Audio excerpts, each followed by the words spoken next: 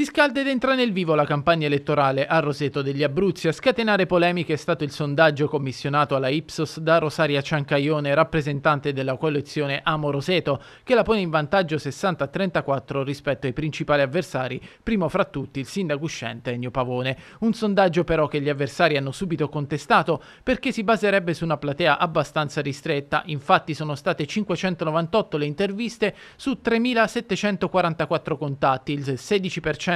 realizzate mediante il sistema CATI tra il 18 e il 22 di aprile del 2016. I dati diffusi dalla Ciancaione dicono che il 62% dei cittadini di Roseto è convinto che la città nel suo complesso stia andando nella direzione sbagliata e per il 66% dei rosetani il giudizio è negativo sull'amministrazione comunale uscente. La gente di Roseto, quindi il popolo di Roseto, i cittadini di Roseto vogliono cambiare completamente il modo di governare e questo, diciamo, questa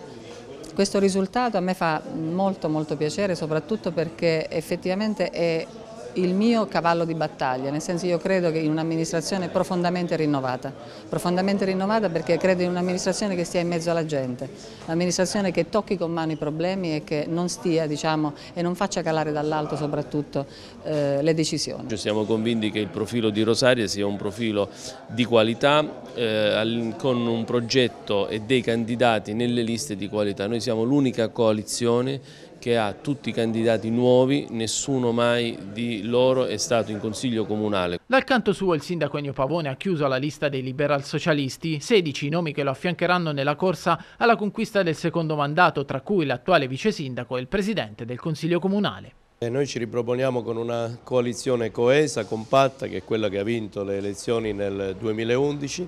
Avremo sei liste, eh, che compongono questa coalizione, che poi tra l'altro è l'unica vera coalizione in campo in questa campagna elettorale qui a Roseto degli Abruzzi. Abbiamo messo insieme le migliori energie di queste quelle che sono due liste civiche sostanzialmente, uno che rappresenta la tradizione socialista molto forte in questa città e che ha sempre rappresentato un punto di riferimento a Roseto degli Abruzzi e l'altra che abbiamo realizzato cinque anni fa e che oggi abbiamo messo insieme queste due realtà per avere una lista secondo noi molto forte eh, che racchiude tante personalità già eh, esperti, giovani, eh, attuali amministratori